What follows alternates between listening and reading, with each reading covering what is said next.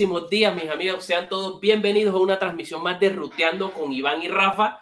Hoy con un, con un invitado de esos invitados súper, súper especiales. Así pues que, señores, tenemos a Dimitri Sovnikov, bicampeón del Dakar. Entonces hoy lo tendremos con nosotros. Ya volvemos.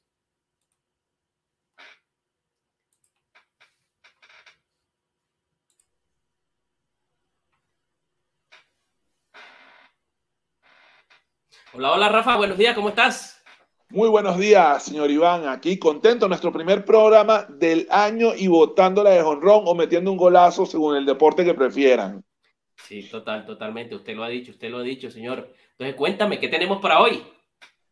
Eh, Iván, hoy, hoy Ruteando con Iván y Rafa arranca con más que decir con bien derecho, porque además somos los primeros latinoamericanos en entrevistar en vivo a Dimitri Stoknikov. Casi nada, ahí se la dejo. Y para eso tenemos nuestro, por supuesto, nuestro, uno de nuestros copresentadores y colaboradores, el señor Wiki de Iguana 4x4, tienda que ya está abierta en este 2022 para que todas las personas puedan visitar o consultar vía internet. Wiki, bienvenido.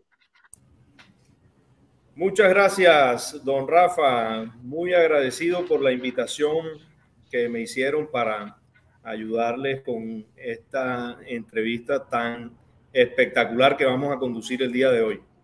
Eso sí, que sea, que sea un propósito. Gracias, Wiki, como te decía, como te decía Rafa, pues bienvenido, bienvenido a este programa. Entonces, pues no demos más espera, pues, de nuestro invitado que ya está acá eh, Dale la pues, bienvenida a Wiki y agradecémosles que está aquí con nosotros con este par de locos, hoy tres. Totalmente. Bueno. Hello, Dimitri. Welcome, Dimitri. You are live with a Colombian and Latin American audience from this moment on. Yes, yes, yes, yes. Great to see you all of all you. Okay, muy chévere estar acá y vamos a agradecer nuevamente, lo acabamos de hacer detrás de cámaras, pero eh, pienso que debemos agradecer nuevamente a Dimitri por haberse tomado este tiempo el día de hoy para charlar con nosotros. So Dimitri, I'm gonna thank you again uh, for being with us today. Um, as I mentioned earlier, I know you are a very busy man, and uh, this is um, great to have you here uh, for a Colombian and Latin American audience. Ok, Happy entonces. To see, you, again. Thank you. Así que muchas gracias. Entonces vamos a empezar, eh, Iván y Rafa, con lo que tenemos preparado para sacarle aquí la información a Dimitri que nos comparta esas pequeñas cosas que no se ven usualmente en las presentaciones. Google. Mira, pero, pero, pero a, mí me gusta romper el esquema de una vez. Tenemos todo un itinerario preparado y yo voy a empezar rompiéndolo. Dile a, Dimitri que por favor nos muestre esos trofeos que tiene detrás, que empecemos por ahí y que, bueno, vamos a mostrarse a la gente. Okay, bicampeón tenemos hoy aquí, ¿no, Iván? Bicampeón. Sí, señor, bicampeón. Well, Dimitri, I'm going to have to ask you again uh, to, to show us your collection of trophies and uh, and that truck that you have there, which uh, we already mentioned, it's the previous generation of the Kamas race truck. Oof. Yes, this is uh, beautiful. Main prizes from Dakar. This is a uh, copy copy of our previous model of Kamas and. Uh, this is here we see the Silkway rally that we. Silkway, el rally de la seda. El rally de la seda. Some uh, different chip, a lot of cups there. Wow. wow. Let, us stop right there and, and, and let uh, me translate a little bit my, um, so, so the people my, my, know actually what they are seeing. So Lo que nos está mostrando Dimitri es no solamente los trofeos que él tiene del Dakar, que son los que por supuesto se ven en el centro. El más grande es el trofeo de su victoria del año pasado, edición 2021. Los trofeos más pequeños son eh, podios, segundo puesto.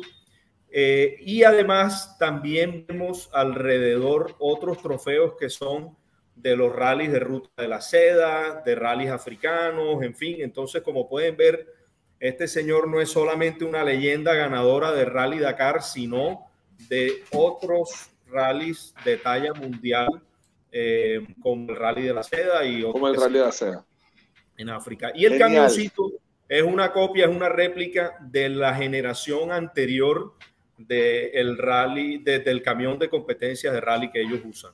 Go ahead, Dimitri. Bueno, ahí tenemos como asuntos de Uh, comunicación. is the second car in Peru and Argentina, Bolivia, Paraguay.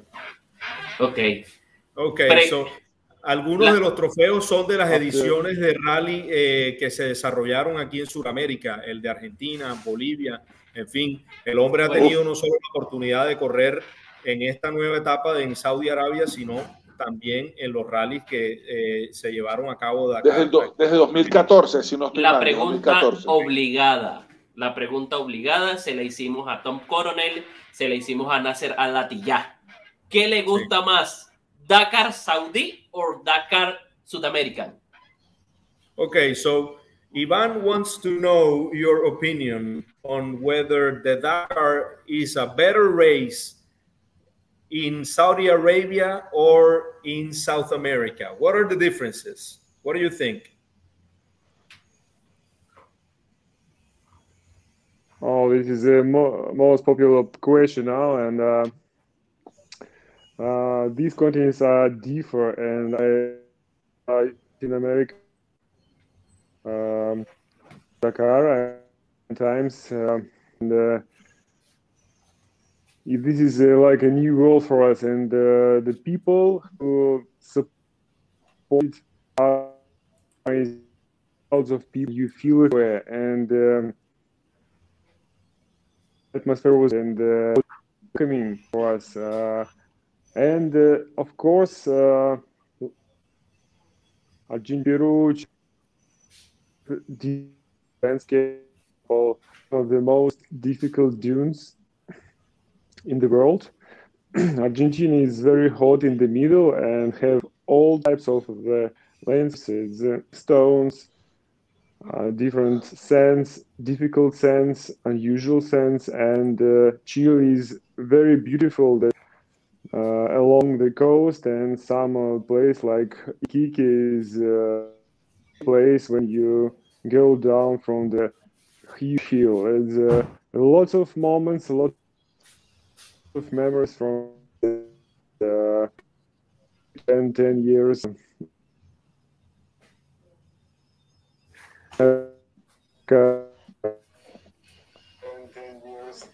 Okay, let, let, let me let me translate that to our to our listeners. Then uh, we we were uh, breaking up a little bit, so so I didn't get the the whole of the uh, of the answer. Um, but in conclusion, you say they are two different races, and the um, and, and both of them have their ups and downs, on their nice things and their challenges. Um, uh, you, you think the, the the people that follow the race are more enthusiastic in Saudi Arabia or in Latin America? I, I speak about uh, South America because uh, the such audience like in South America, I, I have never seen uh, anywhere um, because uh, so many people uh, along the streets everywhere and the gas stations everywhere and so welcoming that impressed me most of all. And this is amazing and we love to, to spend uh, uh, 10, 10 years but here you uh, in Saudi Arabia now we don't see such uh, crowd uh, Such a crowd. this is a new race uh, country and uh, yes and um, I spoke before before the South America it's great great uh, Okay, let, let me put that in, in Spanish then.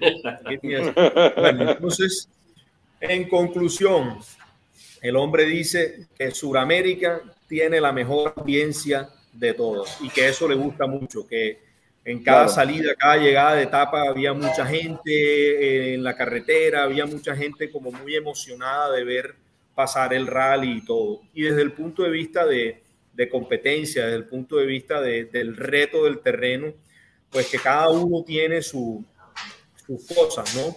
Que tiene memorias eh, muy buenas de, la participación en ambos. Eh, dice que el terreno en Argentina es es muy caliente en algunos sitios, muy frío en otros, tiene dunas que llevan hasta el mar, eh, en fin, son, son cosas que, que eh, fueron muy interesantes para él.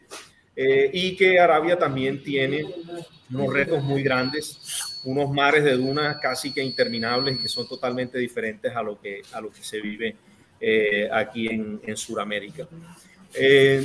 pasemos, señores, a la, a, preguntarle un poquito de, ese camión, que nos cuente cómo... Vamos a hablar del camión. Oh, total. Pero antes... Esa parte técnica que a la gente le emociona tanto. Pero antes vamos a darle cabida a la gente que nos está siguiendo. Eh, desde Honduras, el Mundo Pacetti nos saluda. Eh, Fabián Maya hizo la pregunta de que qué Dakar prefiere, el de Arabia Saudita de Sudamérica. Fabián Maya está en Medellín, Colombia. Rina Benítez, que también está con nosotros. Maxwell Pobre de Barranquilla, Colombia y por aquí nos saluda Bio, Biox Off-Road Racing, eh, diciendo que, estimados Iván y Rafa, invitado de lujo. Gracias a esas personas que están conectadas ahora pendientes de esta entrevista. Totalmente. Bueno, Iván, sección 1, sección 1 de preguntas. Vamos a hablar del camión. entonces, hoy vamos por secciones en este programa. Vamos a estar hablando de las secciones y la, la sección 1 obviamente no podía ser por menos lo principal para todos los que nos gusta el aceite, la grasa y todo eso. Eh, los aspectos técnicos del camión, ¿ok? Entonces, bueno. Wiki, este, todo suyo. Sí, señor. Okay, well, Dimitri, uh, our audience wants to know more about that spectacular new truck that you raced in the 2022 uh, Dakar.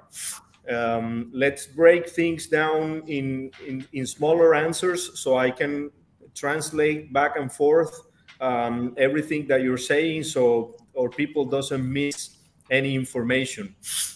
So please um, start us uh, with some information about the chassis and the body of the new Camas truck. Is this based on a production model Camas or this is a race specific um, prototype built just for racing?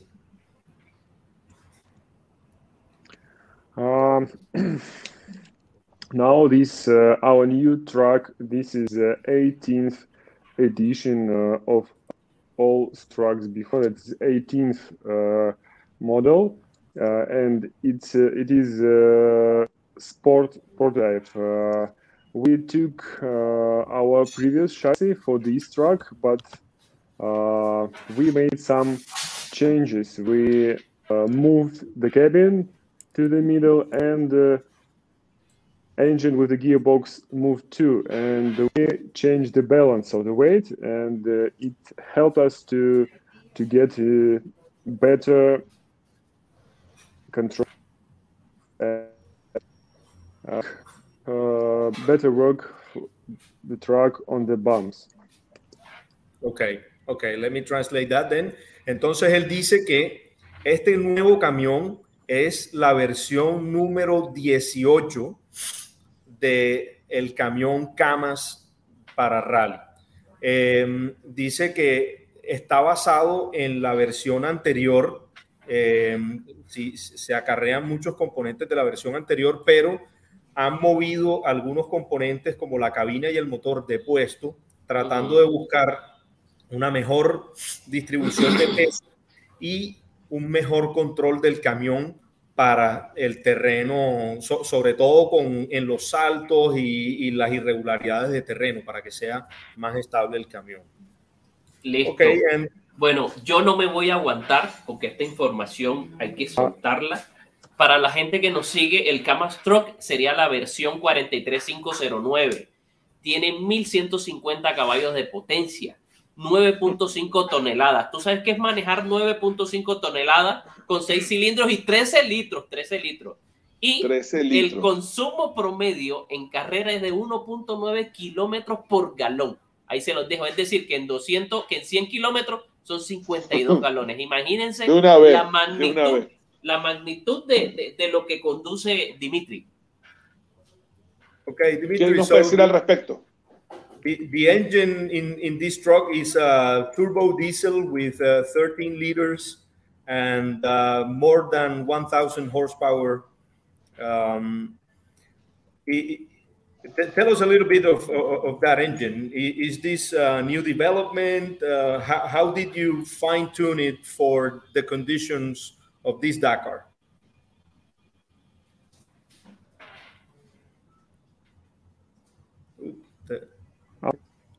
Uh, diesel engine uh, Cummins.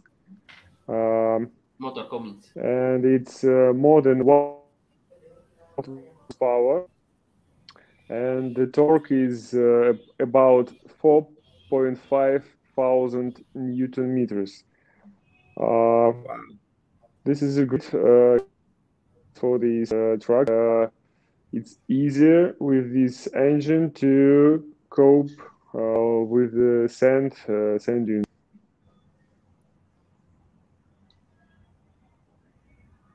Okay. No, dice que el motor es un motor Cummins, efectivamente, de esa cilindrada. Eh, es un motor que, es más fácil de trabajar y, y, que funciona mejor en la, en la arena.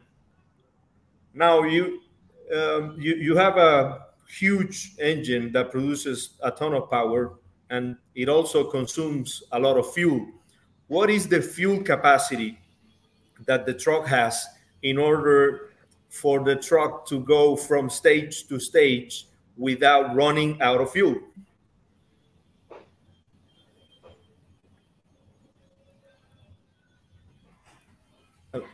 Um, this year, which uh, assumption uh, uh, 140 uh, liters per 100 kilometers. Um, I don't know how to count in uh, year dimensions. And we have and we have uh, 100 liters in store. I mean, uh, we have three different tanks, uh, and the whole uh, quantity is 900 liters. So 900 liters overall, divided between the three tanks. Okay. Sí, él, él dice que uh, tienen yes, en total. Uh, uh, we have pumps that uh, they the fuel. Okay, let, let me put that in Spanish, uh, please. So, eh, él dice que en total tienen 900 litros de capacidad distribuidos en tres tanques eh, en diferentes lugares del camión. Y, y eso no, normalmente la, la, distribución la hacen para, para, poder mejorar la distribución de peso en general claro. del camión. Eh, Wiki, bueno, eh, hablemos de caja automática, caja manual, tipo suspensión, tamaño de llantas. ¿Qué nos puede decir con todo eso? Okay, so how do you manage the power uh, from that engine? What kind of gearbox are you um, currently using? Is it an automatic gearbox or a manual gearbox?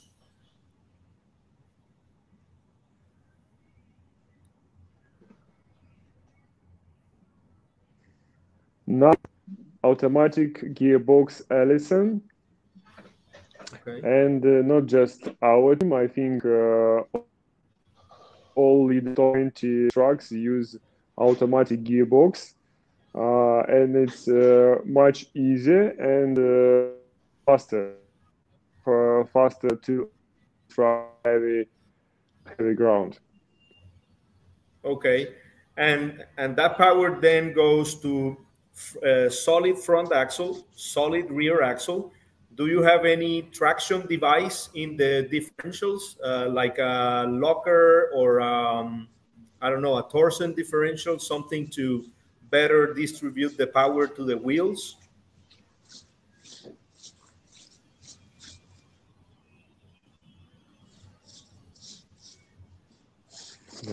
Uh,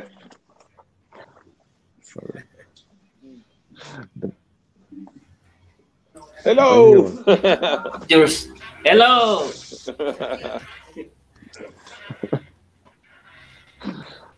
Uh, uh, could you mind, could you revision uh, the Uh, Yeah, we, we're breaking up a little bit, so let, let me let, let me ask you again. So you you are using an automatic gearbox, and um, what are you using in the differentials to better distribute the power to the wheels? Are you using um, differential lockers or uh, a torsion differential or, or something like that?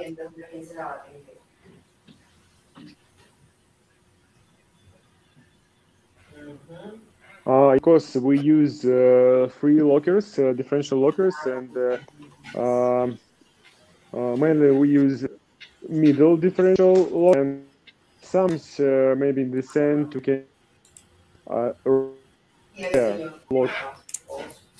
I don't use it when the problems of uh, stuck uh, enough uh, to have one middle uh, differential locker. Okay. Okay, let me put that in Spanish. Bueno, la, la respuesta que todos estaban esperando, caja automática, señores. ¿Qué tal? Casi nada. El- están usando... habrá, habrá, habrá un live de maestros para esa respuesta, lo sabemos. Bueno, entonces, caja automática, usan una caja Allison. Eh, él dice que la caja automática es mucho más rápida, más fácil de, de manejar, eh, sobre todo en, en el terreno suelto como la arena.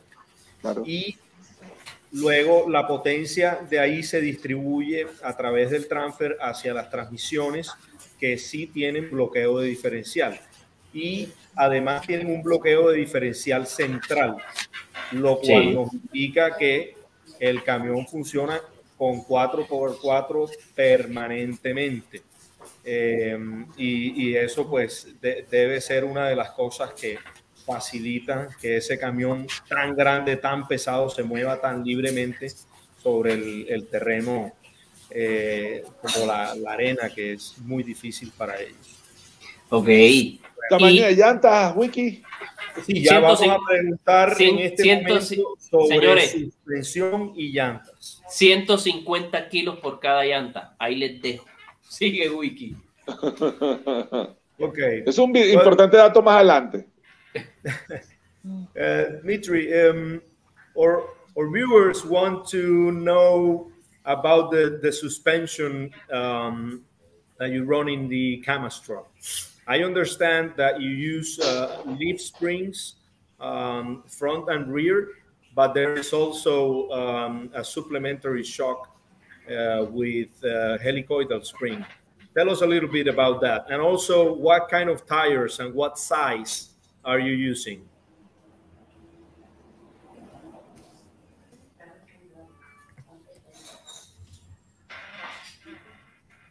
Ahí está, ahí está. Hello. Eh, cuando lo tengas de nuevo, eh, dile que habilite la rotación del teléfono. Exacto. Eso debió ser que entró una llamada. Le entró una llamada, le entró, sí. le entró una llamada. Hello, mister. Sí, eso es que entró una llamada. Ahora sí, Ah. ahora sí, again. Y Hello. Wiki, Hello, mister. De microphone. Eso es que entró llamada. Listo, ese es que le entró llamada, le entró llamada. Así se Lo, lo perdimos por un momento. Sí, pero fue que Ah. le entró llamada. Do you hear us, mister? Bueno, ahí está como ubicando. Bueno, Wiki, entonces, dile, dile que salga y vuelva a entrar, Wiki, es lo más rápido. exacto. Mitri, can, can, can you hear us right now? No, no nos escucha. Permíteme, le paso por aquí un mensajito. Ok, bueno, como a veces pasa, estos, estos, estos programas en vivo suelen pasar estas cosas. Les recordamos a todos que estamos directamente conectados con Dimitri Sotnikov, que está en Rusia, ¿no? Entonces, para empezar, está la diferencia horaria, este, y bueno, definitivamente hay algún problema técnico con el internet de, de Dimitri.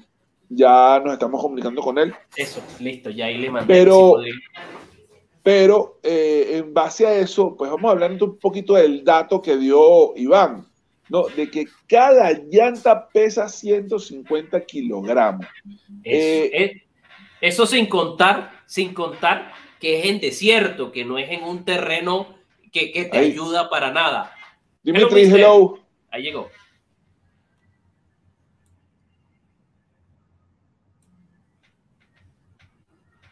Ahí está, permítame. Permítame, permítame.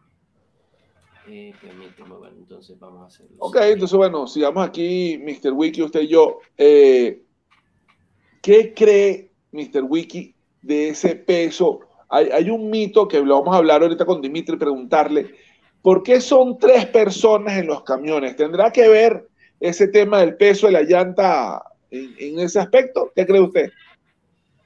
Bueno, definitivamente. Eh, eso es una pregunta que tenemos aquí en línea para que él nos aclare, pero sí, los camiones normalmente llevan un navegante y un mecánico, un ingeniero que los acompaña en todo momento. En parte porque las reparaciones mecánicas de un camión no son como el de la moto que se bajó solo y le apretó el radio a la moto, en fin. Aquí la sola soltada de una llanta y la cambiada de una llanta de esas es una tarea ardua. Y, claro. Y, si y cualquier otra operación del camión, eh, eh, el, el, camión tiene cualquier cantidad de sistemas eh, que, que, tienen que tener el ojo puesto de alguien encima todo el tiempo. Y si mal Entonces, no estoy... Entre esos dos tripulantes, el mecánico, ingeniero y el navegante, es que pueden eh, controlar un camión de ese tamaño. Total. Y si mal no estoy, creería que conté 16 personas, incluyendo piloto, copiloto y el mecánico, 16 personas en el team, en el team cama. De hecho, eh, sería bueno nombrar el copiloto Ruslan Akmanev y el mecánico es Islis Asmesaninov mecánico. Que, que yo te voy a decir algo, ¿no? Algo, este, aquí pues, eh, allá en mis tiempos cuando era joven, que fui copiloto de rally, yo le decía al piloto que tener el pie en el freno es sabroso. Lo difícil es tener el cuadernito y persignarse en todas las curvas. Aquí llegó Dimitri. Ese, trabajo de copiloto es, es, es, es muy estresante. Yes. Welcome, sí. Dimitri. Ah, sorry, some No, no, no. connection Don't problems. worry. Dile que estamos hablando del tema del copiloto, que bueno, que aproveche a saludar a su copiloto. no, um, nothing has happened. We, we can continue on.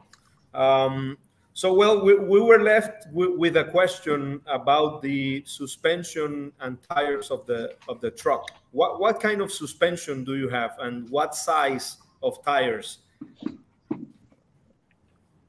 Uh, we use uh, suspensions from Holland team, uh, Holland uh, company Rager. Maybe you, you know it well. Uh, Yep. And we have just a limit of traveling 300 millimeters for every truck. And now we use uh, Goodyear tires. Uh, the size is uh, 22.5 inch. Okay. Okay. Um, and um, the the Riger shocks are used in conjunction with uh, the leaf springs that the truck um, has in the chassis.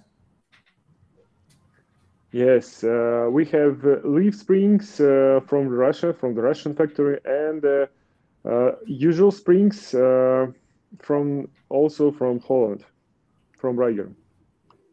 Okay, okay, let me translate that. Entonces él dice que la suspensión que ellos usan está limitada por, por regulación a 300 milímetros, o sea, solamente puede tener 300 milímetros de recorrido.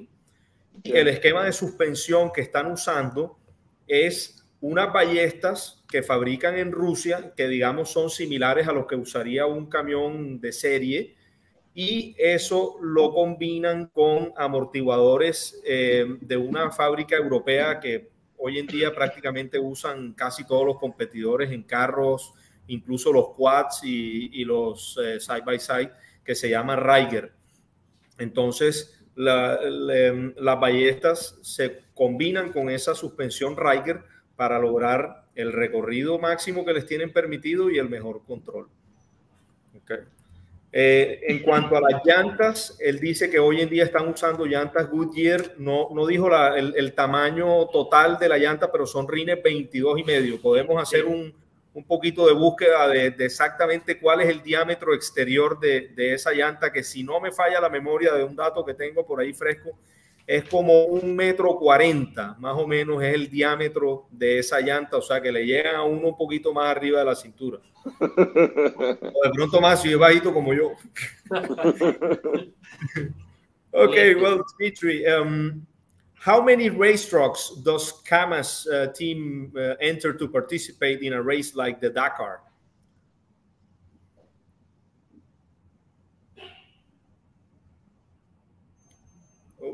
Creo que. How many trucks you, you said? Oh, how, how many trucks um, compete for um, the Camas race team in in a Dakar?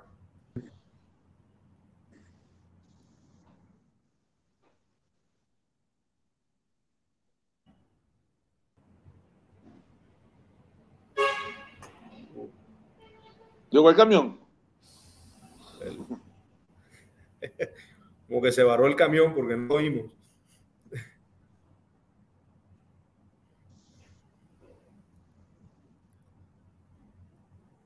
Creo que volvió a pasar lo mismo.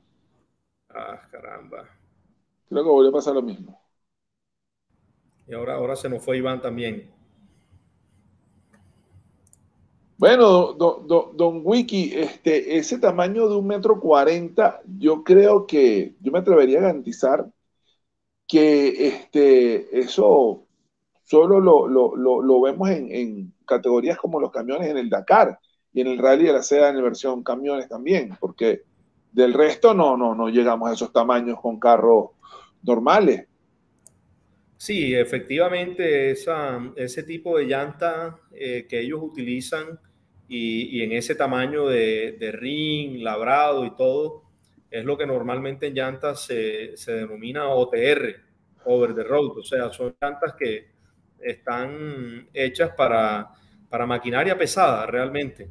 Eh, incluidos los camiones 4x4 así grandes, yo pensaría que ellos están usando un tamaño de llanta eh, de pronto ligeramente más grande que lo que utiliza un camión 4x4 eh, de, la, de, la, marca de los campos, eh, pero no mucho más, porque también pienso que son medidas bastante exóticas y, no debe ser fácil lograr las velocidades que ellos logran con ese tamaño de llanta. Hablando de la velocidad, este, no, creo que no se lo hemos preguntado, pero ¿Cuál más o menos será la velocidad máxima de, este camión? ¿Qué estimas tú? Entiendo que en esta nueva versión del camión eh, en el que corrió Dimitri este año, la velocidad máxima es de 175 kilómetros por hora. Que... No me imagino andar a 160, 170 a como dos metros de altura, porque a la final de la historia el, piloto en un camión está muy arriba, ¿no? Está muy arriba, entonces no es la misma sensación andar en un side by side, por ejemplo, que estás muy cerca del piso, las llantas son inclusive grandes, pero están casi que a la altura de tu cabeza, entonces la sensación de estabilidad es mucha. Andar y, muy por encima de la llanta, ¿no? ten en cuenta otra cosa, Rafa, que esos camiones son lo, que aquí en Colombia llamamos camiones ñatos. O sea, además, ¿no? Es recto y, el camión muere ahí, no es un camión con capó.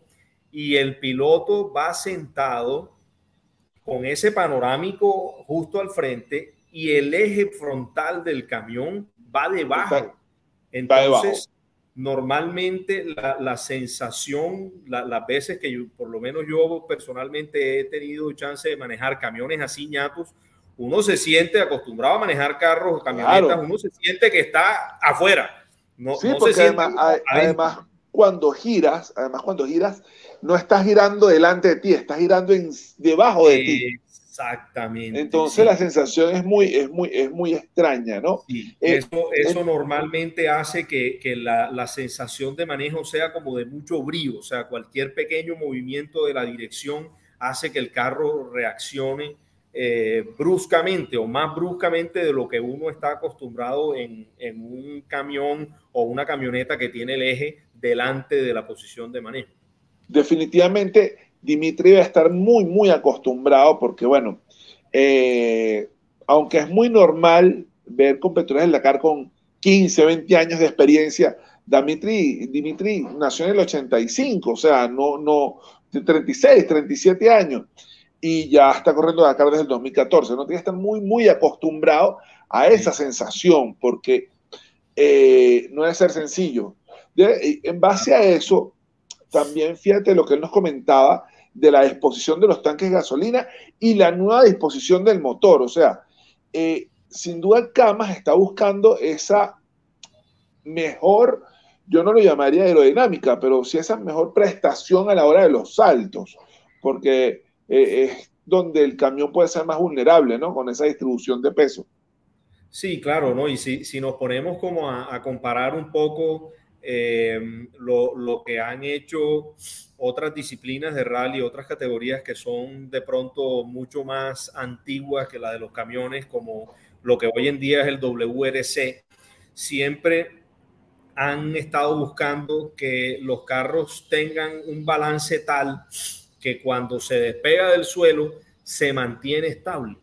Claro. Entonces, no es como antes, digamos, uno, uno se pone a mirar los videos viejos de, de cómo Siempre aterrizaje de trompa. Y siempre se iban de trompa. Siempre aterrizaje eh, trompa. Y, y, y, cuando los saltos eran, digamos, no rectos, sino que un poco cruzados, se desestabilizaban completamente los carros, porque aparte de que se iban de trompa, la inclinación que llevaba el carro al momento de entrar al brinco, también se llevaba el carro un poco de lado y eso que generaba muchos, muchos, accidentes y todo. Eh, y, y, si nos ponemos a mirar los videos de, de, estos camas volando sobre las dunas y todo, eh, y, y, con lo que él nos decía del recorrido de la suspensión, que están limitados a solo 300 milímetros, uno ve que esos camiones se despegan del suelo con mucha frecuencia. Eh, entonces, yo, yo me imagino que ellos siempre están buscando la forma de hacer que el camión sea estable, no solo andando, sino volando. Volando, sí, exactamente, sí. porque eh, eh, eh, yo no sé, pero solamente con que el 15% del tiempo de la carrera esté en el aire ya es un numerote impresionante, ¿no? Porque sí. se dan unos brincos y muy continuo, ¿no? Y muy continuo. Claro, claro, claro, se despega y, y, además mi, mi, miremos una, una, una, cosa que me, me, acordé ahora que él hablaba de esos 300 milímetros de suspensión. Si nos ponemos a comparar, por ejemplo, lo que pasa con los trophy trucks eh, en las carreras de Baja California, que uno ve que esas carrocerías van estables y abajo la suspensión va como loca moviéndose sobre el terreno esas suspensiones estamos hablando de que tienen entre 60 y, y, un metro, 60 centímetros y un metro de recorrido de la suspensión. Y aquí estamos hablando que es menos de la mitad de lo que usa un trophy truck. Entonces el camión tiene la capacidad de absorber parte de esas irregularidades, Total. pero no al nivel de un trophy truck. Por lo tanto, eh, pues ve uno el resultado, que se despegan del suelo constantemente y todo, y debe ser muy difícil de manejar el camión en esas condiciones. Eh, me, me, informa Iván que está en comunicación con Dimitri para solucionar los problemas técnicos, ¿ok?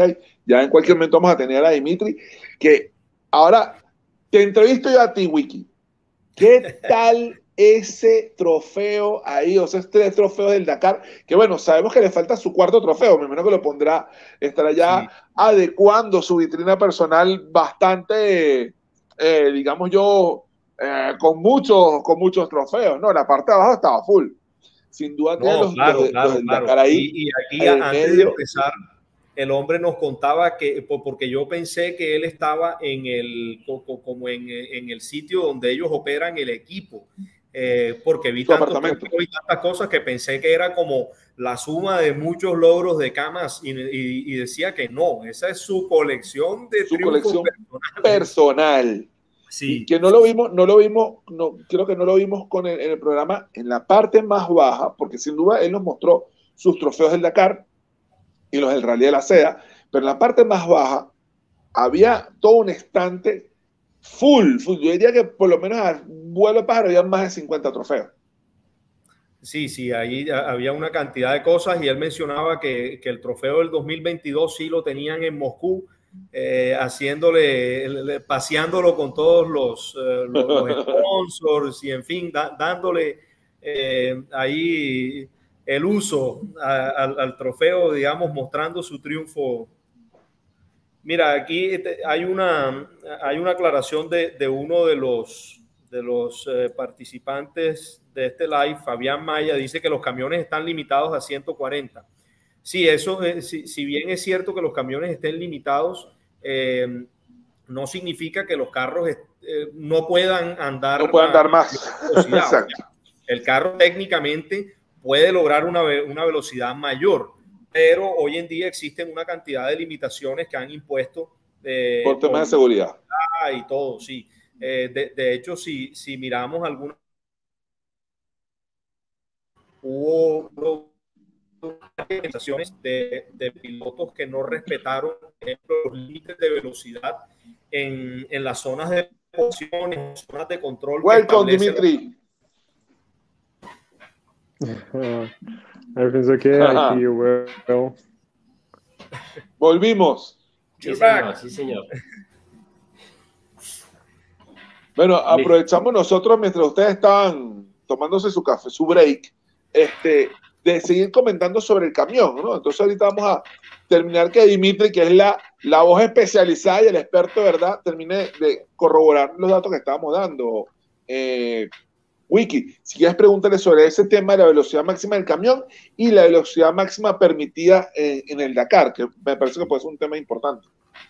Okay. Uh, so Dimitri, one of our, um, of our listeners uh, has a question regarding the speed of the truck. How how fast can you drive uh, the Camas during the Dakar, and how fast it can really go?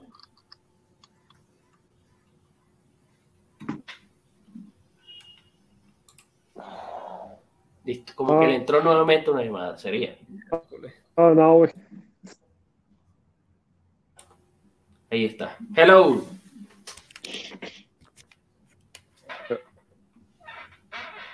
Va a tener que decirle que apague el chip uh, de, de, su teléfono. 180, 80 kilómetros. Ok. Eh, eh, I, I'm sorry, I, I didn't catch the, the, the answer. Um, I, I couldn't listen to your voice. Uh, it's breaking up.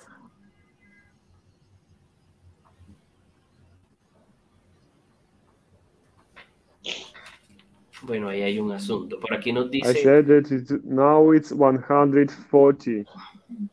Ok.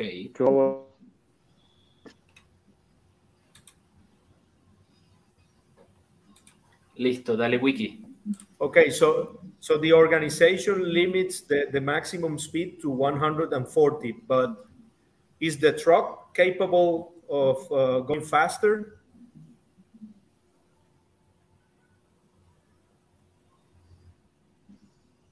hay asuntos, hay asuntos de comunicación. Bueno, por aquí nos dice Fabián Maya, que está conectado con nosotros, dice que los camiones están limitados a 140.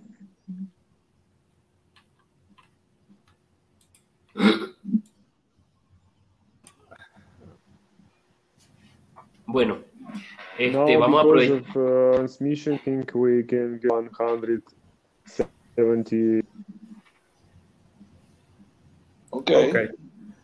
Got it. So, let me translate. So, sí, sí dice él efectivamente que, que, están limitados a 140, como lo decía Fabián Maya. Eh, pero como comentábamos por acá, el camión sí es capaz de ir más rápido, o sea, alrededor de 170 kilómetros por hora. Sí. wow. Em, bueno. Señores, bueno, sigamos. adicional sobre el tema de técnico de camiones o seguimos ya a preguntarle sobre el personal y el equipo que lo acompaña? Sí, señor. Seguridad. Oíste, me encantaría tocar el tema de seguridad. Es un tema que creo que es bastante importante tocarlo, sobre todo en camiones, porque debe ser diferente todo a cómo se maneja en el resto de, de los coches. Entonces, eh, Wiki, ¿cómo manejan ellos el, asunto de la seguridad? Obviamente me imagino que están en reglamento, pero si ellos deciden llevar algo adicional a lo que el reglamento exige. Okay. Okay. Now, Dimitri, uh, regarding the uh, safety um, aspects of the truck, uh, we know that regulations are very strict on how the truck must be built in order to compete in, in a Dakar. But is there anything else that Camas um, includes in their trucks to make them safer uh, for you as a driver and uh, your navigator and mechanic?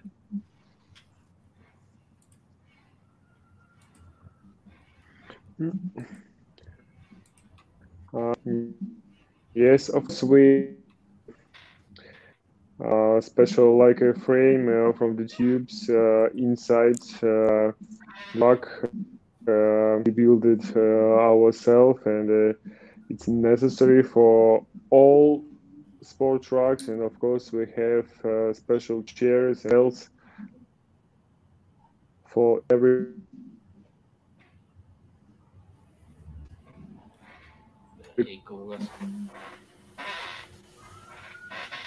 uh, um, for the safety. Can be in the desert. You can help um, courses uh, from medicine help how to do it. Estamos, estamos teniendo como okay, we, we, we're, we're having uh, a hard time hearing you, but, but uh, from, from what I can hear, um, you, you, have a lots of um, elements in the truck, like the seats and um, everything that the truck needs in order to be safe. Um, but I, I, couldn't hear if there is anything different in, in a Kamas truck versus um, let's say, a, a truck from another team.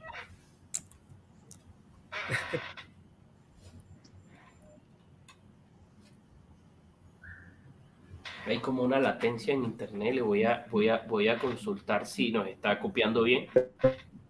YouTube. Uh, uh, special tubes to make it harder. Uh, to to protect uh,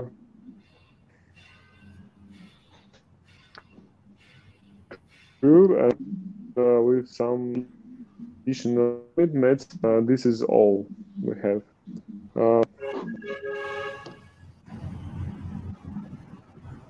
okay, that um, can, can you hear me okay, or or am I breaking up as well?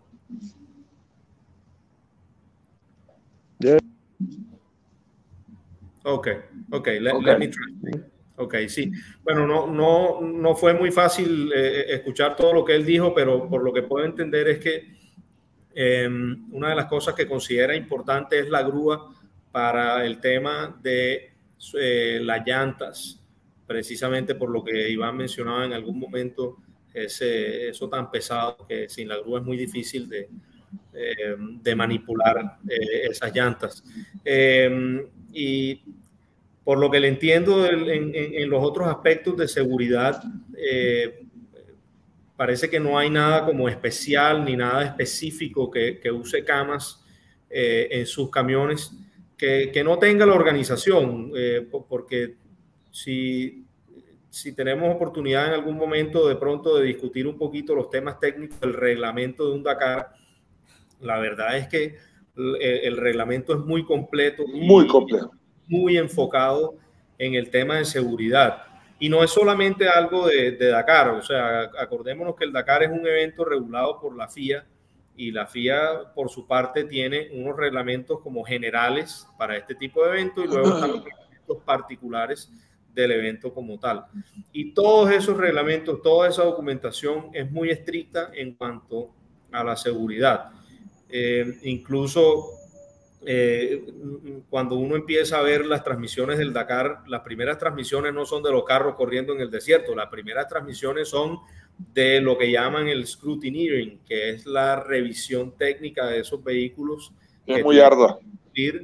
Para poder entrar en, en, un Dakar. Y eh, no, me acuerdo bien si, si fue la, la, entrevista que se le hizo a, a Fernando Jaramillo, eh, aquella vez que él nos contaba que llegaron con la camioneta colombiana al Dakar a la inspección técnica y no pasaron. no pasaron. Toda esa operación de construir un carro, de transportarlo hasta Europa para el inicio de la competencia, no pasaron esa revisión técnica y, y eso es algo que, que puede suceder si, si no se sigue al pie de la letra el reglamento, precisamente para evitar que haya participantes que no cumplan en medio de la carrera. Bueno, vamos, vamos, genial. Vamos, vamos con la sección 2 que me parece también importante abordarla, ¿verdad?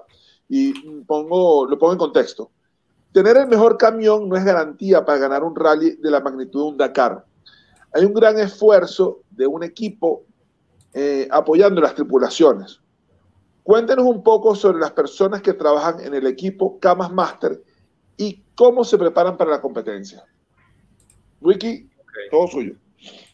So, Dmitry, um, we know that having the best truck is not guaranteed that you're going to win a Dakar.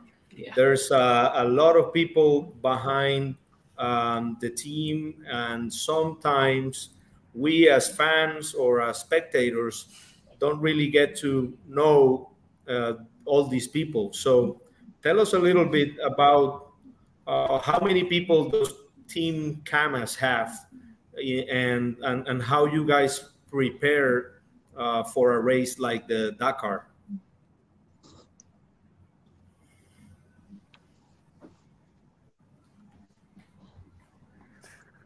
Uh, Uh, the whole team approximately 200 uh, persons. The whole team. Uh, in the rally, we go by 50, 55.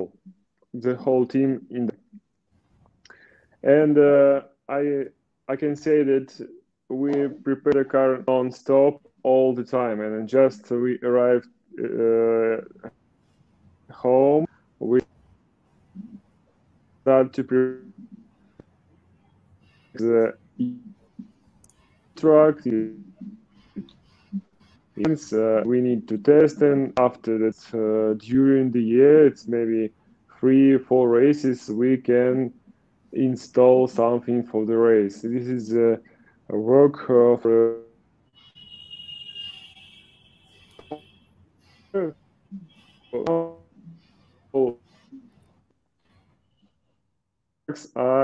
uh, by the Dukes about three months approximately, and you can uh, count that a month, uh, three months minus uh, 12, uh, it's nine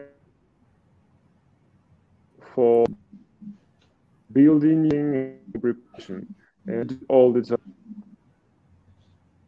Okay, let, let me translate. Maybe you, bueno, I think you understand me, what I, what I mean.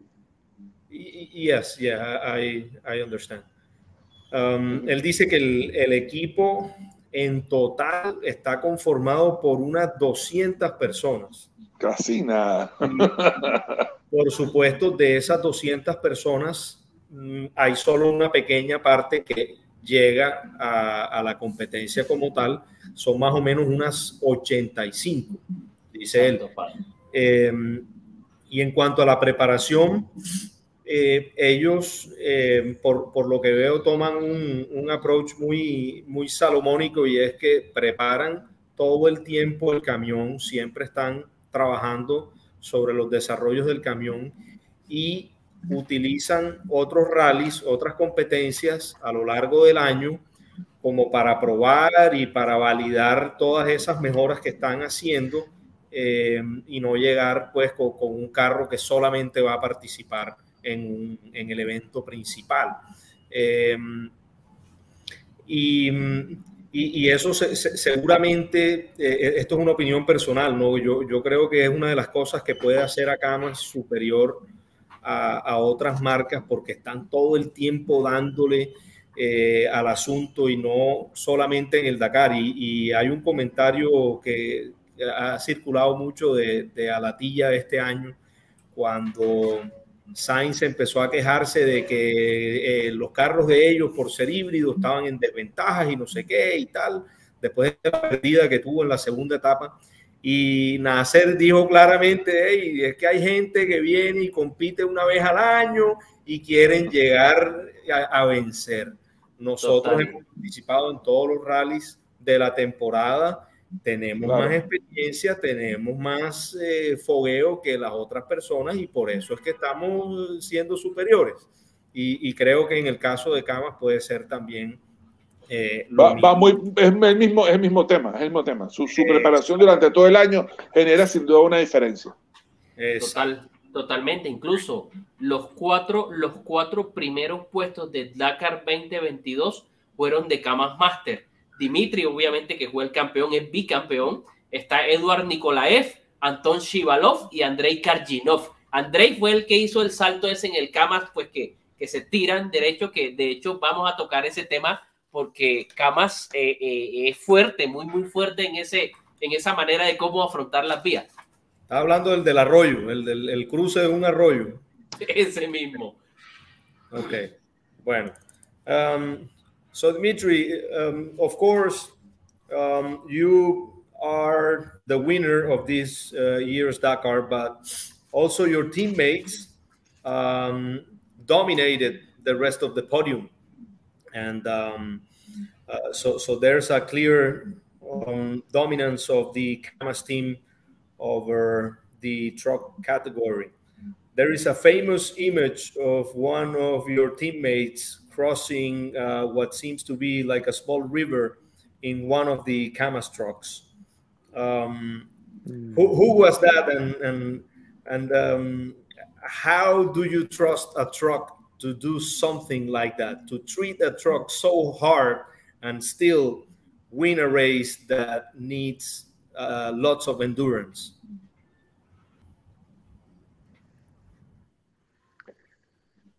I'm sorry, but I missed some uh, uh, some words. Uh, maybe you will do it uh, shorter uh, question because no sound for seconds. Oh, okay, okay.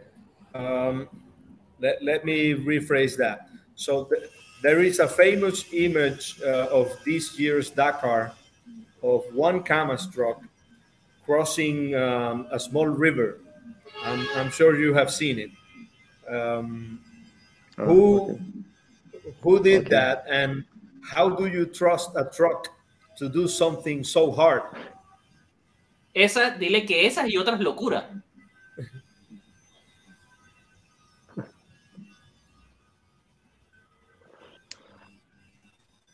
yes, famous uh, Dave Cargino. Um, and that day he had some problems with the gearbox and um, Mm, they try to avoid uh, this river because uh, he got just one gear uh, in his uh, truck and uh, they understood they, to cross this river and they found this place and he understood that uh, just once because he could got he did as fast as he could. He was not sure about how it will be the truck but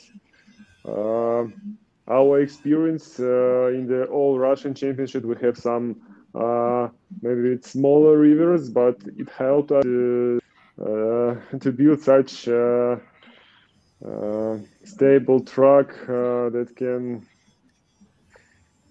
but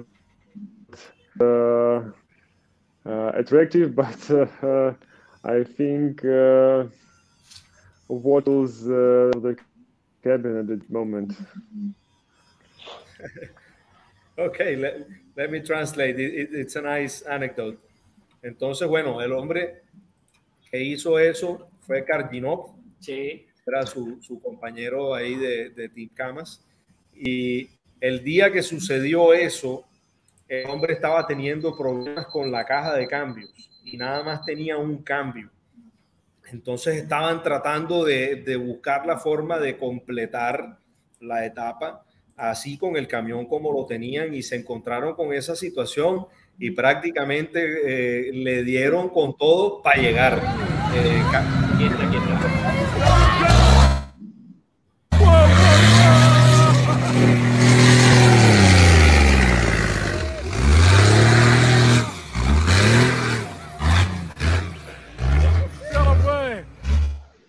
y decía el hombre que de, de alguna forma ellos tienen eh, algo de experiencia con ese tipo de, de, arroyos, de ríos, porque en algunas zonas de Rusia apartadas se presentan claro.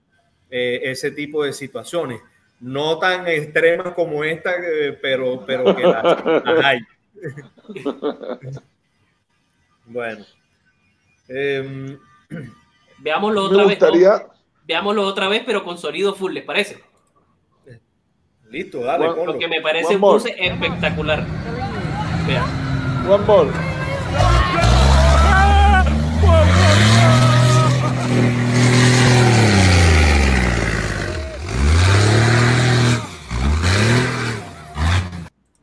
Único, único ese momento. Oiga.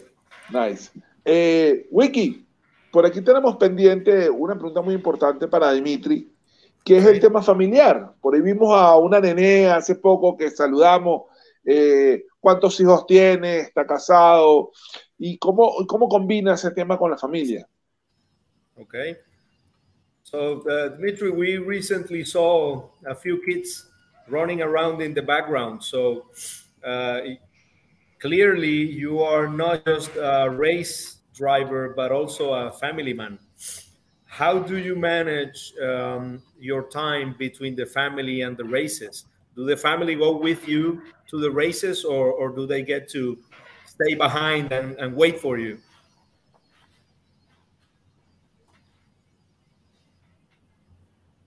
Uh, they, me on his uh, possible, and uh, always stay home and wait me here watch the TV, social media, uh, because they watch uh, me, because they, and, uh, for me, yeah, all in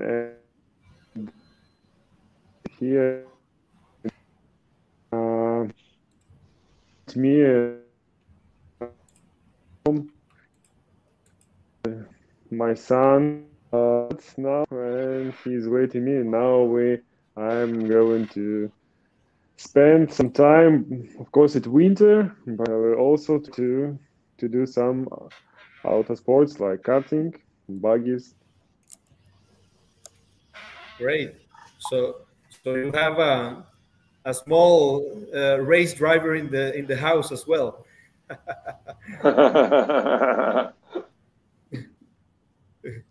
So, yeah. Bueno, el, el, hombre dice que, que, que, normalmente la familia espera, se queda yes, en casa y, enjoy, y sigue. Enjoy, Sounds good, great. So, eh, dice que la familia se queda atrás, espera en la casa, eh, lo siguen por televisión, todo el tema, y, y, normalmente disfruta con la familia en tiempo libre, por ejemplo, como ahora que, que es invierno, eh, entonces ya tienen ahí una, una, temporada para pasar con la familia. Y dice que el niño que andaba por ahí le, le encanta eh, correr karts y a, así que es una, un pequeño piloto en potencia. Un piloto en potencia, ese es el futuro. Sí, bueno. Pasamos entonces a los, a los momentos difíciles, ¿qué les parece? De, de un sí, Dakar. Señor. Totalmente, sección 3, vamos con la sección 3. Eh, esta sección es más que todo para saber los momentos difíciles. este, pues que dice, y pues lo, lo, titulamos así, el Dakar no solo son bellos paisajes de los camiones danzando sobre la duna, cuéntenos un poco los momentos difíciles que se viven en un Dakar, porque eso solo lo saben ellos que van manejando. Total. Okay. So, Mitri, normally when you watch the Dakar on TV, you see these beautiful landscapes and the trucks uh, run perfectly and beautifully, but you know it's not always nice and good. What are the main difficulties that you have um, during a stage? Is it mechanical breakdowns, uh, tires that go flat? I mean, how, how do you describe those very difficult moments in, in a Dakar?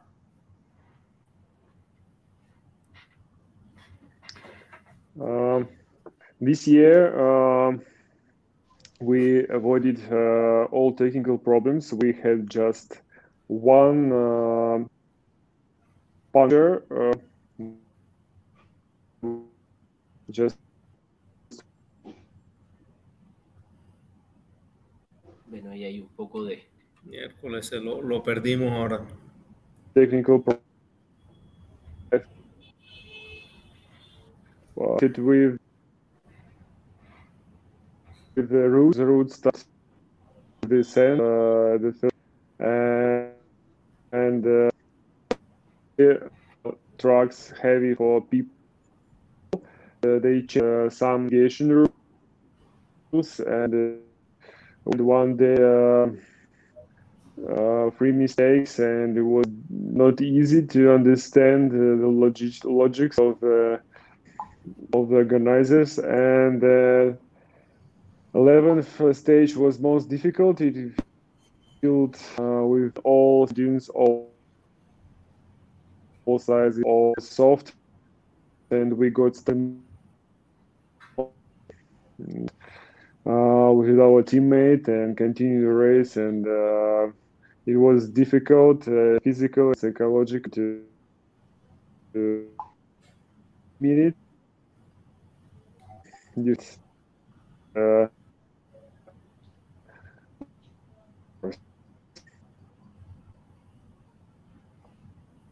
Bueno, ahí hay un, un poco de con Dimitri, pero ves diciendo lo que nos comenta Wiki. Sí. Bueno, no, él, él dice que eh, afortunadamente este año lograron eh, hacer una carrera con prácticamente cero dificultades mecánicas y, y solamente tuvieron una, una espichada eh, en todo el evento, lo cual me parece impresionante, un evento de, de tal magnitud, de tanta duración. De tantos kilómetros. Y tantos kilómetros y de kilómetros agrestes. Eh, decía que, que de, la, la, mayor dificultad que él ve es, es, realmente el terreno. Manejar el camión sobre, sobre terreno complicado es, eh, es sobre todo por el peso, es, es duro. Y, hablaba de, por ejemplo, eh, en, en, unas etapas previas a la 11, no, no alcancé a oír que, cuál era el número de la etapa, pero decía que tenía eh, el equipo eh, muchas dificultades en entender la lógica de la organización. Me imagino que se refiere a, a temas de navegación y encontrar el punto y eso, eh, que sa sabemos que otros pilotos también tuvieron ese tipo de dificultades. Pero nos hablaba de que en la etapa 11 se enterraron en las dunas. Dice que esa fue la etapa más dura de, este Dakar para, para él, porque era una etapa de muchas dunas y unas dunas muy blandas y es supremamente difícil manejar el camión en ese terreno. Entonces hubo un momento incluso que se enterraron y con otro compañero de equipo lograron jalar su camión y seguir adelante eh, en la carrera. Y es que un camión de nueve toneladas y media, no me imagino lo, lo difícil que debe ser de manejar en arena y lo difícil de sacar una vez. Recuperarlo, ¿no? recuperarlo. Sí. Total, totalmente, totalmente cierto. Bueno, este, ya estamos en eh, la transmisión sobre la hora y nueve minutos. Eh, creería que deberíamos pasar a la sección 5, eh, que es más, eh, que estamos tratando en esa sección 5, trata del futuro del deporte y, y, cómo ver el futuro del deporte y el futuro obviamente de, de del Dakar. De, del Dakar. Sí. Okay. Well, Mitri, thank you very much for for sharing um, those nice um, experiences and and those technical details about your truck. Um, to, to finish off, let's talk a little bit about how you see the future of uh, the rally ride sport. We saw this year not only the Audi e-tron hybrid cars, but also there was um, Team Sugawara from Japan with a hybrid uh, truck. So, do you think um, in in the near future we're going to see more of these uh, alternative uh, trucks or alternative fuels, electrics, um, any kind of new technology? Do you think it's going to make its way uh, in the Dakar and other rallies?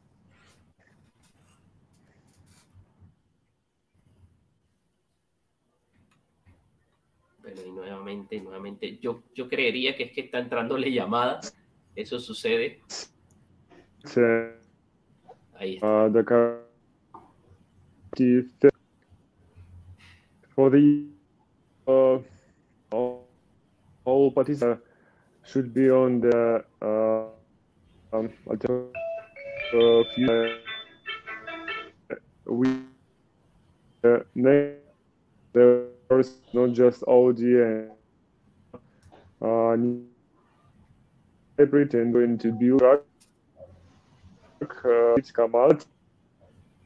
So we look for H2s too because this year are uh, presented in new truck, but far from the, uh, it will be enough for. I mean, eight years will be enough for to get uh, such technologies because it's almost new and no car is to change their these use and our other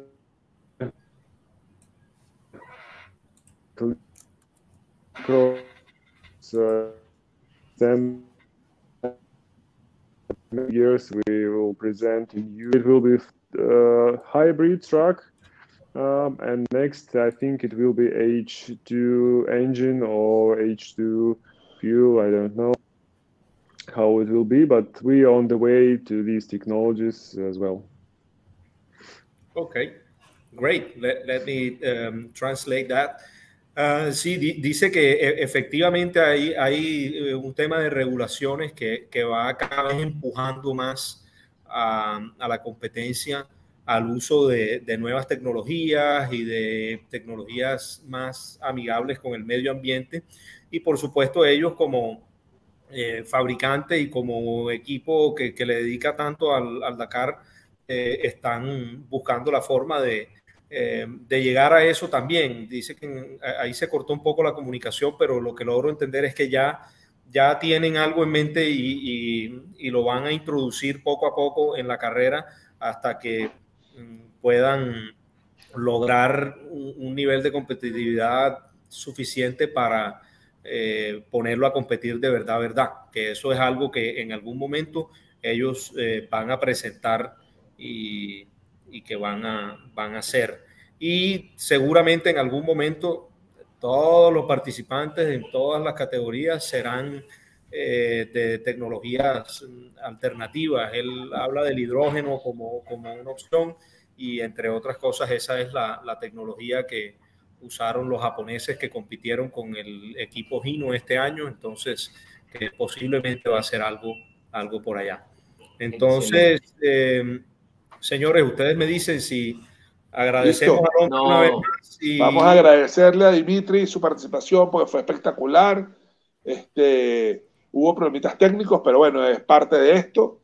Y bueno, nada, quedamos pendientes y, y, y que considere que tiene tres nuevos seguidores y tres nuevos fans. Sí, señor.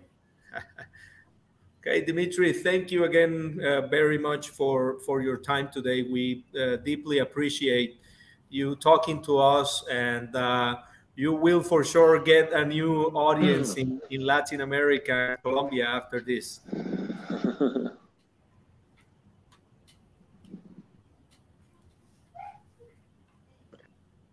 Thank you, too. Uh, glad to hear you. Glad to speak with your uh, spectators.